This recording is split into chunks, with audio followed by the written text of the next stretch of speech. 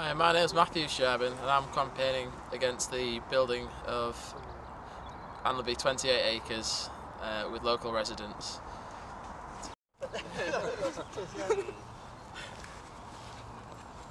okay.